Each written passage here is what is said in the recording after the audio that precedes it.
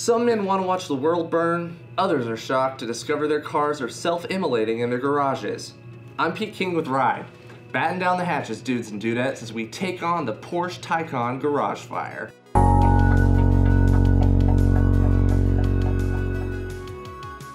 It was reported Sunday, February 16th, that a privately owned Taycan caught a bit of a fever inside its owner's garage and decided to sweat it out.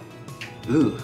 I mean, I like my pizza crispy, but that's a little too well done for me. Reportedly, the car was destroyed and the garage was damaged when the luxury EV burst into flames. Beyond this, we don't know a whole lot. Porsche has been scant on the details, though they did reveal they were notified through a customer service line. Imagine being the service representative on that call. Hello, this is Porsche customer service. How may I help you today? 911, this is an emergency! Oh, I'm sorry. Did you say you have a problem with your 911? No, my car just exploded.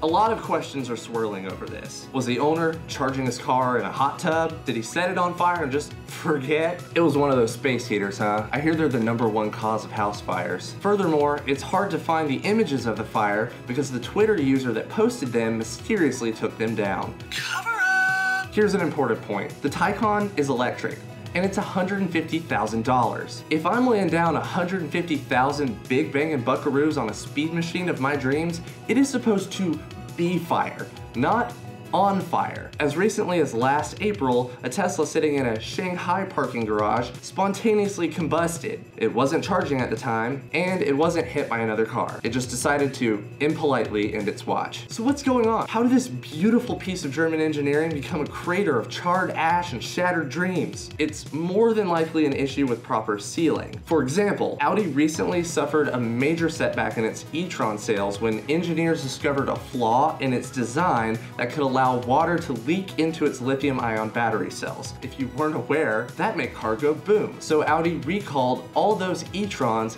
immediately. Most electric vehicles are heavily rated for water sealing specifically to prevent these sorts of electrical fires. But if the Taycan sealing was compromised and it had rained recently, that would be enough for the Taycan to meet its maker. Even with top-notch factory inspections, it's not impossible for a production unit to have an issue. But here's one fact of the case that might give you peace of mind or at least provide confirmation bias for a state we all love to hate. This fire happened in Florida. Of course it happened in Florida.